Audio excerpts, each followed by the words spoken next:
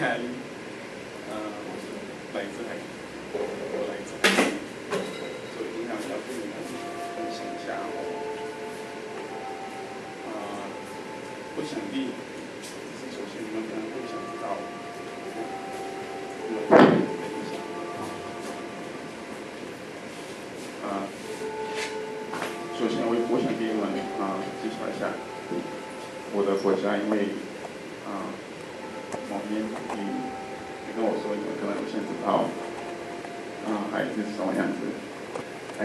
在中美洲的，然后是以前法国的殖民地，所以我会讲法文。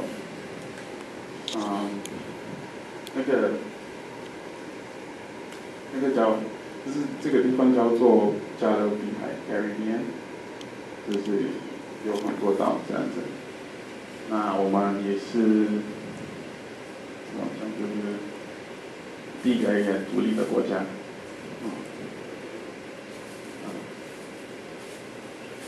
前那些人会叫我们 “Pearly Island”，是因为我们有很多就是 natural resources，对，像那个 gold 还有金子跟 minerals，啊，那些是。那些是孩子的一些，这是很重要的地方。如果你们去海地的话，可能一定要去 参观一下。一个就是这个就是一个，应该是一个墙堡，就是在北部，这个在北部是以前，啊，只是以前，以前它算是一个 wonder。嗯，就是很大个，就是在北部的话，然后是一座山，在，啊，对，那为什么以前的人就是已经在在十九世纪我们这个被改的，为什么会我们会想就是改那个，是因为我们独立的时候很多。像那个法国跟美美国，他们不，就是他他们会想办法让我们没有，就是他们让我们跟别的国家，就是做那些像追像那些买东卖买东西之类的，所以我们会我们有改那个，是因为我们要先保护我我们的国家。嗯，对，这也是一个。嗯这个算是一个教会，那也是在北部，在同样的地方。嗯，啊，如果我想你们已经知道，如果你们要去加勒比海的话，你们也是一定一定要一定要去看海边，不然就不去了。嗯，这也是在北部是。这个叫做拉巴吉，啊，是一个很大的、很有名的。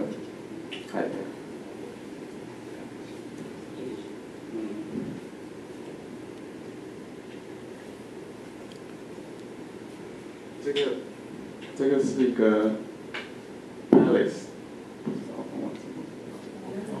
啊啊，这这是一个 palace，这是在一八四二年。盖的，没有，这是以前盖的。可是因为我们在海地会有很多地震，可是这个被就是受到地震的影响，所以才会变成这样。啊，这也是在北部，是一个啊一个努努力吧，他他变成了一一个 king，嗯，with 对，也是以很就以前盖的，所以如果你们去的话，可能要去看一下。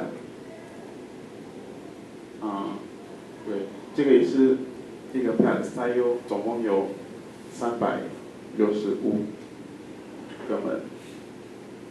啊，我不知道为什么会有三百六十五个门，可是，在同样的地方，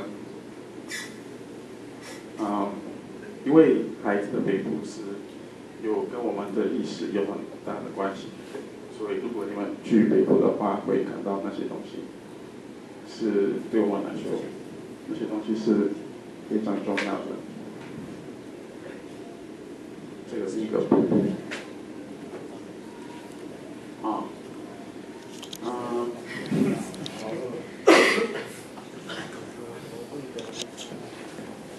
嗯，这个是南瓜灯，为什么对我们来说这个是很重要的？我们 Our Independence Day is January 1st, so every January 1st, everybody 每个人都会吃那个。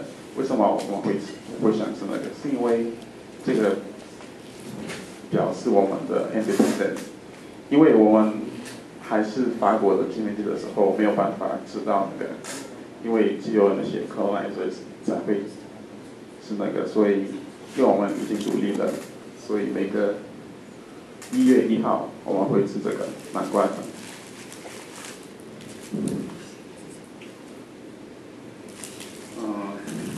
我们只能写食物啊。呃，就是 plantain 这个在台湾买不到，我我从来没有看过，不知道有没有。Plantain 这个好像橡胶，可是不一样。这个是假的，不是不是那个那种水果可以直接吃啊，要记住，就是。昨天吃猪肉，可是跟台湾的猪肉不太一样。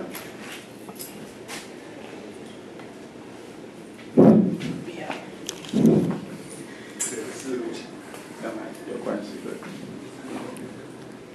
嗯，哎呀，我就知道你们会可能会想知道，你你们，我想你们可能会想知道，为什么我会来台湾，就是念。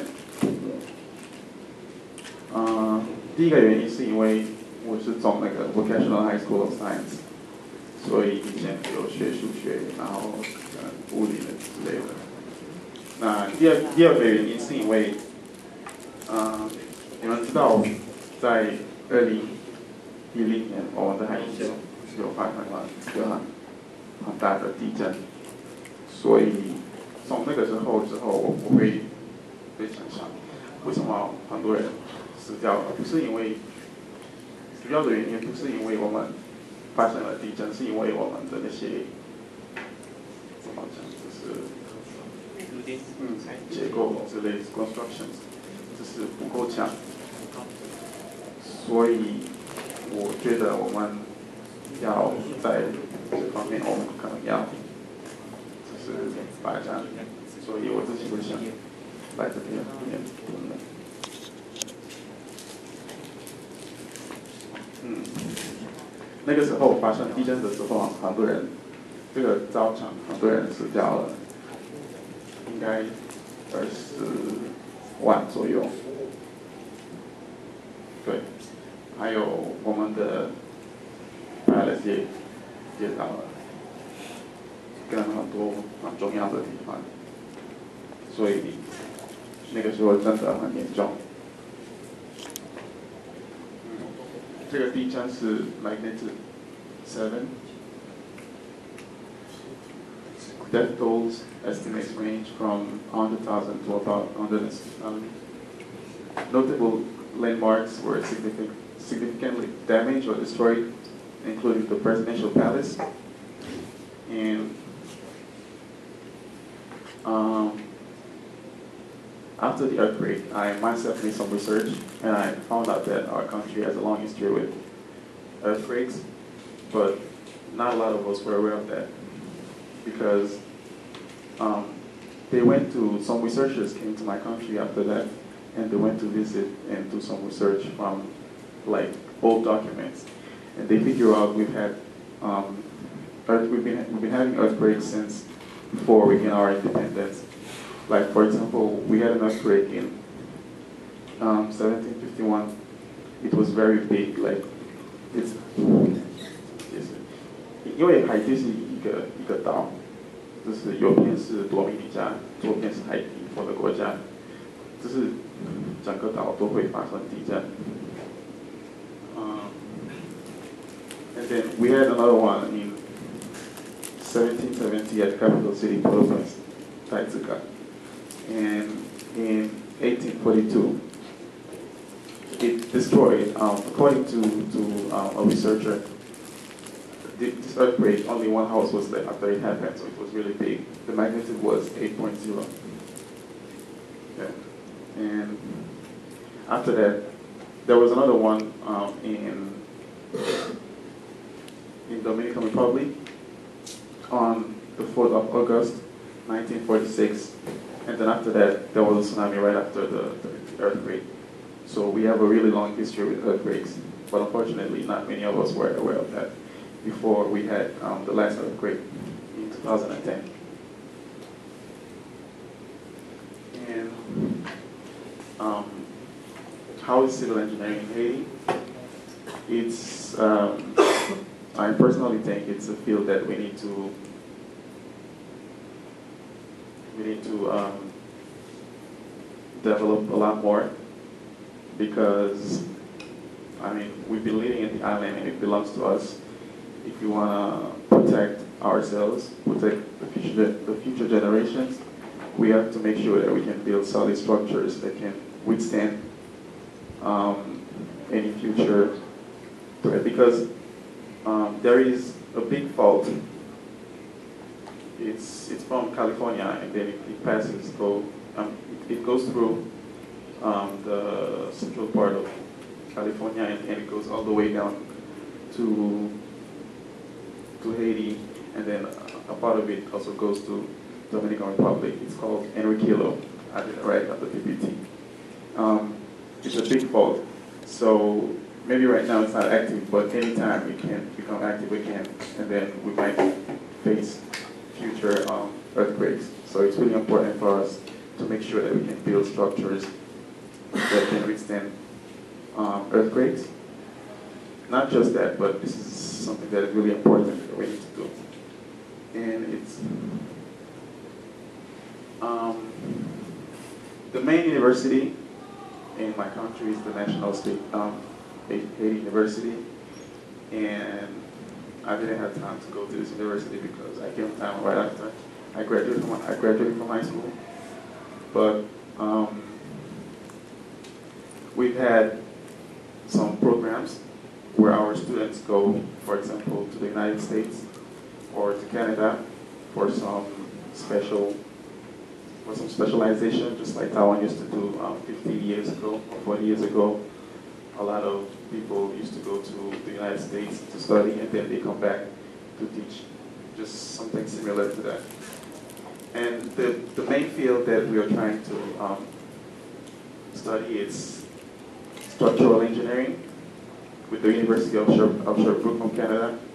And then there is also geotechnical engineering and then geophysics with uh, Cornell University. Every year, um, we send the government sends some students, and then they go to study, and then they come back to become teachers, and they um, share what they've learned with the other people. And then, obviously, earthquake engineering. This is something that we need to do, and we need to improve as well. Um, how is my own experience in Taiwan as a international student? It's um, it's very challenging. it's very challenging to be honest. The first reason because um, we have no idea what's going on in class. most of the time we don't know what's going on in class and I mean some textbooks are in English but if we could use text, the textbooks ourselves we wouldn't need to go to a university? We could just study at home and then we would just say we are um, engineers.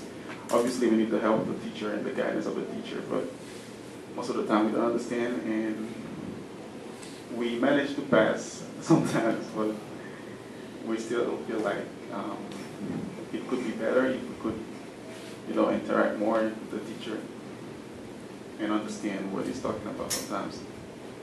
And for me personally, I wish sometimes we could learn by practice because I feel like in Taiwan it's a lot more theory than practice. And studying something like civil engineering, for example, is something that is very practical. Of course, you need a theory, but um, you also need to go to see um, how is it to be an engineer, or more precisely, how is it to be a civil engineer, and go visit some places, look at the structures, look at um, like just get to know your your field of work. I mean, this isn't just my opinion anyway. And just like I was mentioning, um, in Taiwan, I feel like the system is more like um, chalk and talk. Like the teacher comes and then he writes on the board, everybody keeps silence, and then when the teacher asks me, you're me nobody, nobody usually, um, I mean, asks questions, even if they ask, yeah. I mean, I don't know why it's like that, but it's more like chalk and talk. And I know we have to respect our teachers, but nobody dares to challenge the teacher or to ask very serious questions. Some people still do, but most of the time, students don't ask questions. I think this is not necessarily a good thing. Why? Because if I'm attending a class and if someone asks a question, I can also benefit from what they asked. And this is something, I mean, if you are studying a new language or studying something that you just need to study by heart, it's fine. But I think for being an engineer, you need to understand what you're doing. Because if you're a mediocre engineer, then I don't think that's a good thing. And, but it's not only bad things. Um, Taiwan is a pretty safe country, and you don't get to worry about um, you don't get to worry about your safety, and, you, and it's very convenient too, you know. And I believe the education system is also very cheap compared to other countries. Like, um, for, example, in the United States, not everybody gets the chance or the privilege to attend university because it's it's a lot more complicated. And I wish I wish it was like a more fun, engaging, and experimental learning process for the foreign students. Because after I study here, I'm probably going to go back to my country and I'm going to have to tell other people what my experience was from Taiwan. And whatever that I have experienced here, I'm going to share it, not only in Taiwan, because I, we don't know what the future holds. Maybe I'm going to go to other places and other people would like to know how is it to be a student in Taiwan? How is it to be a student in National Fung University? And if it's something that I did not experience very well, it's not going to be a, because I think Taiwan um, right now is trying to open up a little bit to internationals. And so our own experience, it's what we're going to share with other people. So, so if I would say what my um, perspective was studying civil engineering in Taiwan, I would say, I mean, our teachers are really um, competent. I mean, they know what they're doing, obviously. But um, I wish it could be more engaging and more social interactions between like the internationals and and the locals because uh, I have that um, feeling sometimes that even if I stay here for 10, 15 or 20 years, I'm always going to be very distant from the locals. So I think, okay, if I'm studying, I should be having more interactions with other people. And because personally, I think being a university student, it's not just about um, learning what you're learning, your major. It's also about um, getting to know more people. It's also about um, networking. Because maybe your next, I mean, someone who's sitting next to you in 10 or 15 years going to be the next president of Taiwan, you don't know. or maybe the national is going to go back to his country and he's going to have like a very important um, post in this country. And maybe you, you might need that person, you know, for some kind of trade or for some kind of business or whatever it is, or just friends, because everybody needs friends. But if you study in a place for four, five years, and you don't get to interact with other people, I don't think this is necessarily a good thing. And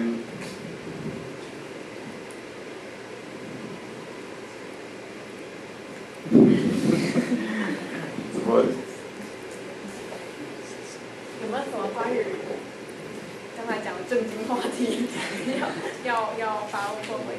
Uh, why don't the government send students to the country that educated in English? Um, because we have some specific relation with Taiwan. Uh, we also send, they also send people to other countries. But I was fortunate enough to come to Taiwan.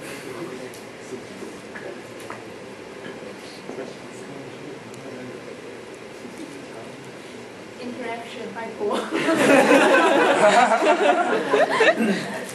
有什么？嗯，你那从中美洲过来很远呢，有没有帮我问点问题啊？我要点人喽，拍四楼。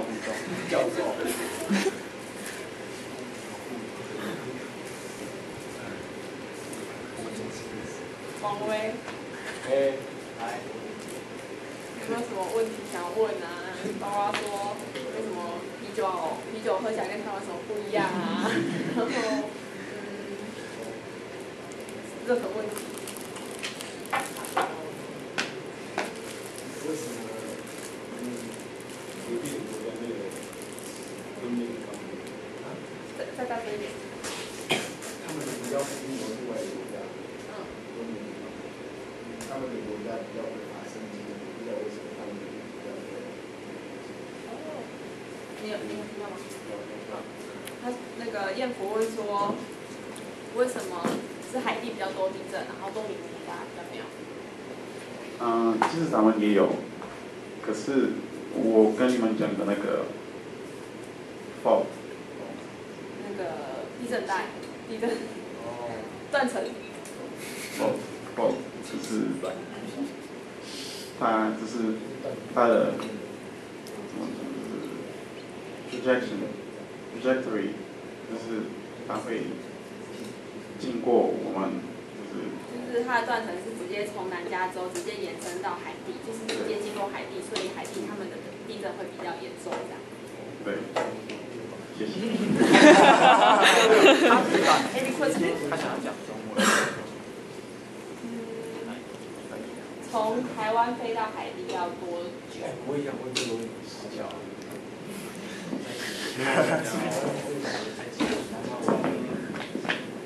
从海地到美国大概是到六个小时来看哪一周，然后从美国来台湾大概是四个小时。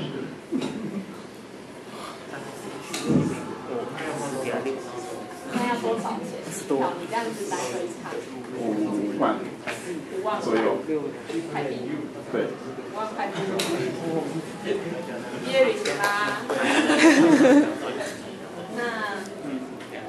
一个问题，那。个川普如果要盖那个墨西哥的那个墙，对你们有什么影响吗？对我完全是蛮影响。增加就业机会。嗯，对我完全是蛮影响，蛮影响，蛮影响。嗯，Miami 就是 Flo Florida，Florida 有很多海地人，所以是有一个地方叫做小海地，就是你在那边的时候，感觉你对你还是在海地，可是我觉得这个对我们应该没有什么问题吧，跟没有什么关系，跟对墨西哥人比较有关系。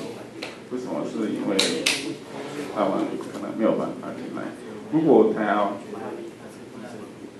嗯 send back，就是 illegal，他就可以这样。如果他改那个应该没有什么。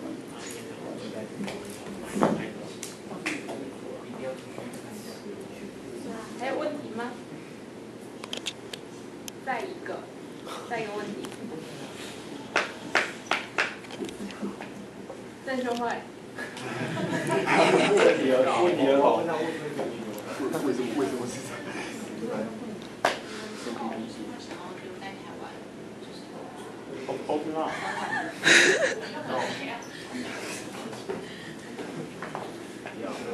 会爆肝。这个可能要多考虑一下。啊啊，是在说，如果有机会的话的话会，可是？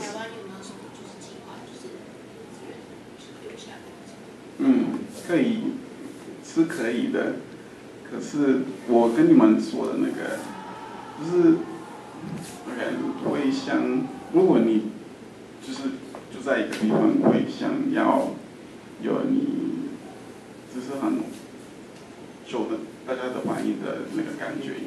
如果你觉得你住四五年，你都没有，你都有这个你是外国人的感觉，这样，我想可能。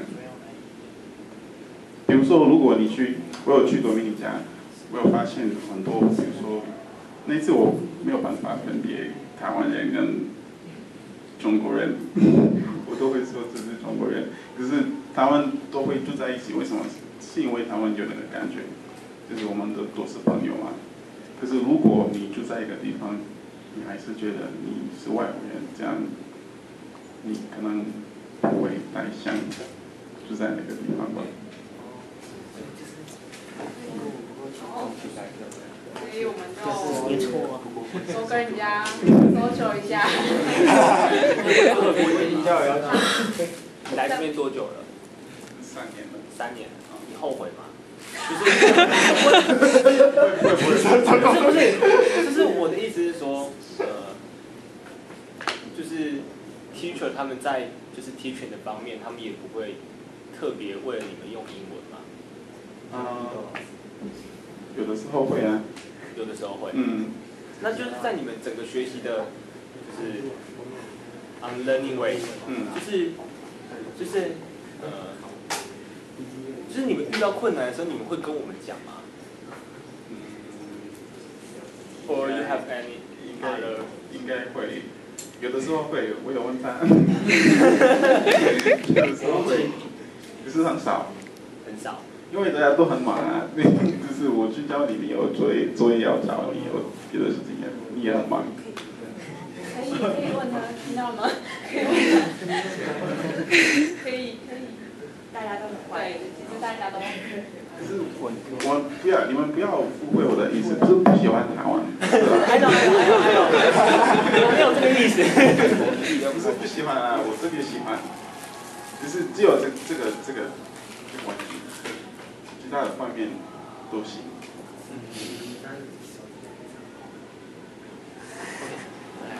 最后一个。那你有希望就是我们可以，就是如果老师他们改变不了的话，那我们学生就是你有希望我们可以有哪一些学习一起学习的方式，就是对你来说，就是你希望会比较好的，就是改善这个状况。如果就是以我们发起的话，嗯哎，太快了啦，讲太快了啦。呃，可以可以那听得懂吗？嗯，想想，呃，我觉得